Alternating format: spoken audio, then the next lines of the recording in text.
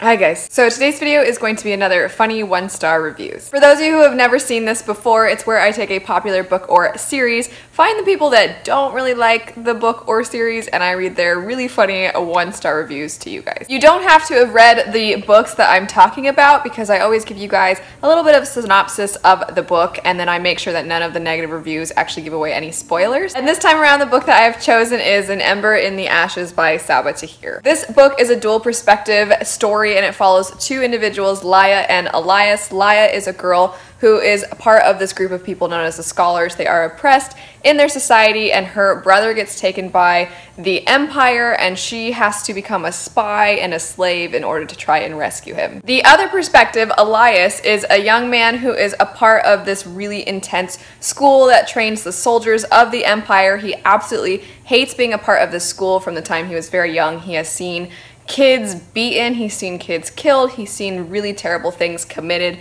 by the other individuals from this particular school, by the leaders of the school, and now that he's approaching his graduation, he wants no part of it. All that said, let's jump into the negative reviews. The first one says, Throne of Glass has been, forgive me, dethroned as my favorite horrible book of all time. An Ember in the Ashes has raised bad literature to an art form. This one says, Ha ha ha. So I just realized I have this at two stars when I hate this book with a burning passion. Oops. One star for you. Next, we have this world she created is devoid of light, nobility, or heroism. Not and heroism, or heroism. They go on to say, it has no reason, it has no joy, it has no hope, it has no good, simple little people, no hobbits, if you will, to stand up against its forces of monstrous evil. Only a boy and a girl, and a boy and a girl, and their raging hormones, and there is no Gandalf, no Aslan to support them, no cause that they fight for except themselves and their own desires. This one says,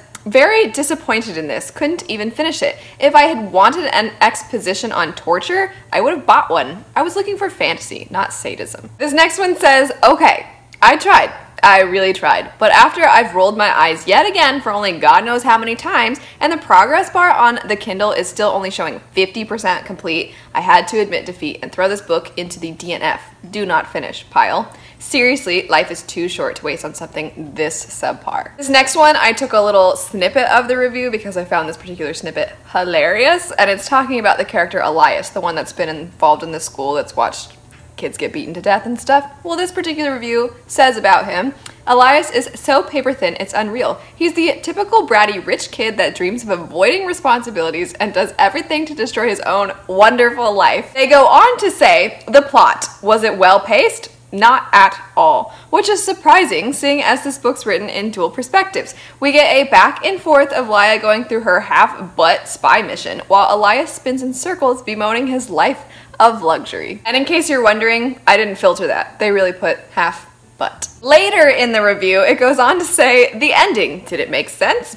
I don't know, because I didn't finish this book. I've seen reviews that say this book ends well, but I don't trust those reviews. It's clear my opinion's not so popular, so I'm wondering if that's because this book actually sucks and everyone's lying about how awesome it is, or I didn't try hard enough. Well, I tried it two times to read it now, and that's more than enough. This next one says, this book's so poorly written that I can't pinpoint any overarching theme. There's mention of rape, whippings, and casual death, but that isn't a theme. A theme is a statement meant to communicate the overall goal of a text. I should know. I teach fifth grade English. This next one says, I found this book very gross and gruesome, and not the kind of cruelty I enjoy reading about. This next one says, suffering slash obsession with swords, some gore, and easy to picture as scenes in a anime type context. The title sold the book for me. I liked the name of the sequel, so I figured I would give this series a try. Unfortunately, on this false history slash fiction series, I was disappointed. This next one's great. It says, I was bored. I always prefer a book with substance and violence to a book with violence and substance. This next one says, I don't always love hyped books. No one does. But I don't think I have ever disliked one this much that has as much hype as this one. It didn't make me horribly angry. I think for most of An Ember in the Ashes, I was just apathetic, bored, didn't cared. Take your pick. This one says, listen, I had to skim and skip to actually sort of finish this book. I was bored to tears and honestly can't think of a single thing I liked. This next one, this is all they have written for their one star review. It says, very poor editing. I cannot get past the author writing that our main character was going to uh, curry the wolf hide. Is she really going to add the seasoning curry?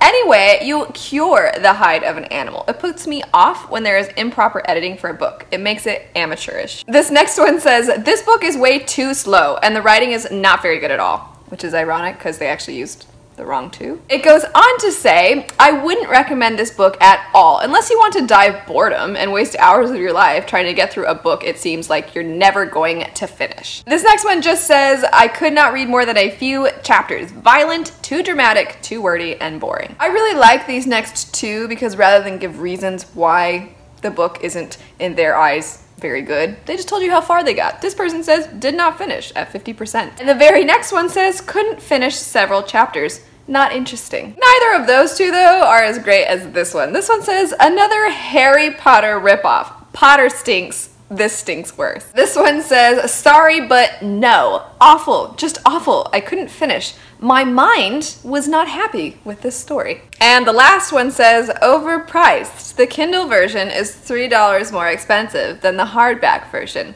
The author should be disgusted. As I know, I certainly am. Looked like a brilliant story, but on moral grounds, I will not pay more for a digital version than a hardback one. Anyway, that's it for my funny one-star reviews for An Ember in the Ashes by Sabaa Tahir. If you want to see an actual review for this book, I'll link mine in the description bar down below, but regardless, let me know which of these was your favorite. If you've read the book, were there any in particular that you found like so over the top and ridiculous? Were there any that you were like, hmm, that might be a little true? And if you want to see more funny one-star reviews, I will have my playlist of them linked down below as well as over here. But anyway, thanks so much for watching. I hope you guys have a great rest of your day and I'll see you all later. Bye.